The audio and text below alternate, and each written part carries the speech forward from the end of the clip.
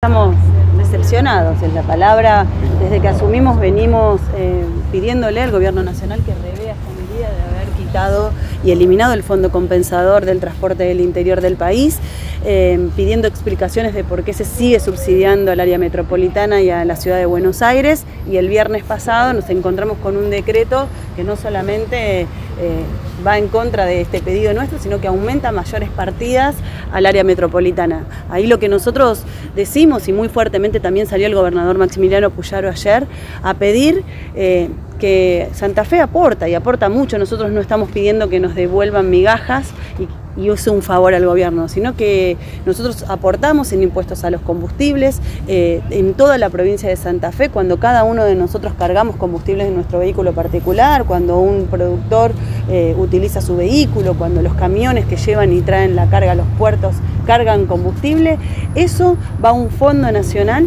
que termina evidentemente subsidiando al transporte del área metropolitana y de la ciudad de Buenos Aires y está a las claras que hace que un porteño, un bonaerense hoy viaje con un costo de colectivo tres o cuatro veces menor a lo que paga un santafesino o un rosarino en su ciudad. Desde principio de año hasta esta parte 27.900 millones de pesos y volvió cero pesos a la provincia de Santa Fe en materia de aporte al transporte. Por eso nosotros decimos que es importante eh, dar esta discusión y que el gobernador la está llevando adelante y en cada una de las reuniones, incluso en el marco de discusión política que se está dando ahora sobre la discusión de la ley bases y sobre el futuro pacto de mayo, que yo no sé si será de mayo, si será de la bandera, eh, estamos eh, reclamando y poniendo sobre la mesa este, este tema que no hemos abandonado, más allá, por supuesto, de los reclamos administrativos que venimos haciendo.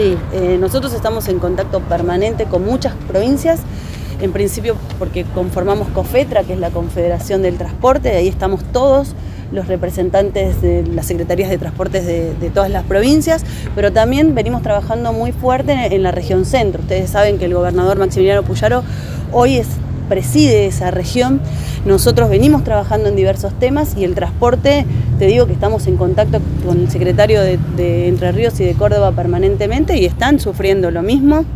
De hecho, nosotros el último aumento de tarifa que tuvimos que hacer en el transporte interurbano fue eh, acordado en un mismo parámetro entre Entre Ríos y Córdoba, porque las dificultades son para todas las provincias, excepto el área metropolitana y la Ciudad de Buenos Aires.